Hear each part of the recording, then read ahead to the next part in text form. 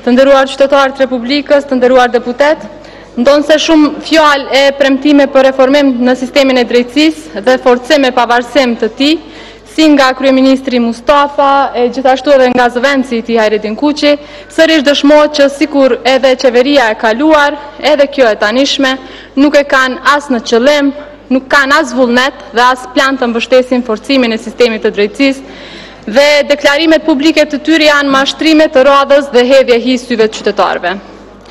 Në bazë të parimit të ndarjes së pushteteve, pushteti gjyqësor paraqet njërën nga degët e pushtetit me rëndësi jetike brenda një organizimi shtetëror. Si i tillë, sistemi gjyqësor është garanti kryesor për stabilitetin juridik në drejtim të mbrojtjes së ligjshmërisë dhe kushtetutshmërisë së shtetit. Në këtë drejtim, financimi dhe strukturimi i tij është tejet i rëndësishëm kur flasim për aspektin funksional. Në strukturën buxhetore të Republikës së Kosovës për vitin dy mijë e pesëmbëdhjetë, që përfshin një shumë prej një miliard dhe pesëqind e shtatëdhjetë e gjashtë milion, Ndarja buxhetore për sektorin e drejtësisë është vetëm tridhjetë e një milionë, kur kemi parasysh që këtu hyn Këshilli Gjyqësor i Kosovës, Këshilli Prokurorial, Agjencioni për Ndihmë Juridike Falas, Instituti Gjyqësor i Kosovës, Gjykata Kushtetuese.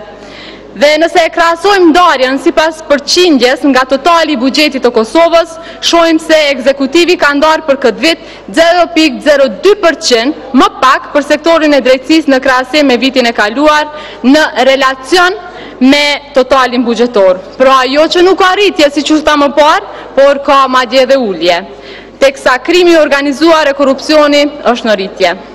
Kjo ndarje tregon denigrimin që i bëhet degës së gjyqësorit, pra vetëm as dy për qind në fakt e totalit buxhetor ndahet për sistemin e drejtësisë. Qeveria e shkuar e projektoi buxhetin ilegalisht, mirëpo kjo e tanishmja nuk pati as vullnetin që të bëjë ndryshimet në përputhje me nevojat e institucioneve, në këtë rast me ato të drejtësisë. Me ndarjen aktuale kjo qeveri po e saboton sektorin e drejtësisë duke e tkurrur atë në aspektin financiar. Unë ju sjell në vëmendjen tuaj të nderuar deputetë që sot sistemi i drejtësisë ballafaqohet me probleme të ndryshme. që janë serioze, kushtet subjektive të gjyqtarëve dhe prokurorëve janë të mjerueshme, numri i madh i lëndëve të pazgjidhura qëndrojnë të pluhrosura në sirtarët e gjykatave e gjithashtu mungesa e numrit të gjyqtarëve dhe prokurorëve. Kërkesa e Këshillit Gjyqësor ka qenë angazhimi edhe i tridhjetë gjyqtarëve të tjerë, ndërsa Këshilli Prokurorial ka kërkuar njëzet prokurorë dhe pesëdhjetë persona si staf mbështetës. Asnjëra nga kërkesat e tyre nuk janë marrë parasysh, as edhe për një pozitë të vetme, lëre më më shumë.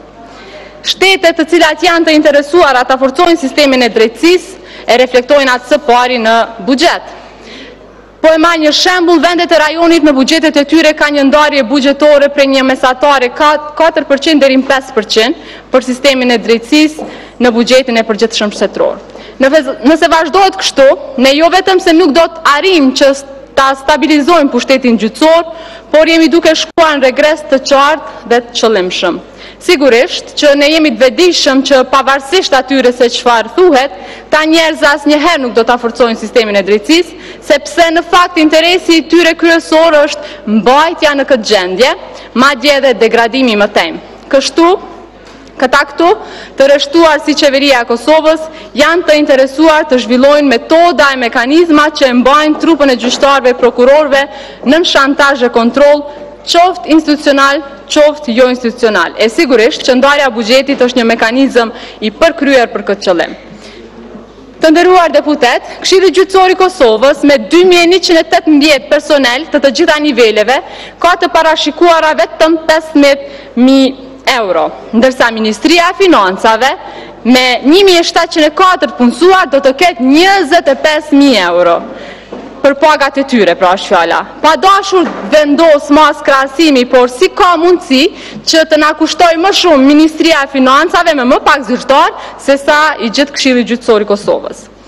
Prokuroria Speciale me pesëdhjetë e katër të punësuar për vitin dy mijë e pesëmbëdhjetë ka vetëm pesëqind e dhjetë mijë euro në dispozicion, pra një mesatare prej shtatëqind e dhjetë euro në muaj, duke mbajtur parasyrë se ka nivele të ndryshme të pagesave, pra që mund të ketë dhe më poshtë se kaq, teksa zyra e kryeministrit do të zhvatë buxhetin e Kosovës hiç më pak se shtatëqind e shtatëdhjetë e tre mijë e gjashtëqind e pesëdhjetë e shtatë euro. Pra edhe dyqind mijë më shumë se prokurorët specialë të Kosovës. Tani veç e merrni me mend të gjithë çfarë kishte parashikuar ministri i Jashtëm i tanishëm, Hashim Thaçi, e çfarë po zbaton kryeministri i tanishëm Isa Mustafa. Tamam luftë të organizuar kundër luftës ndaj krimit të organizuar. Ju faleminderit.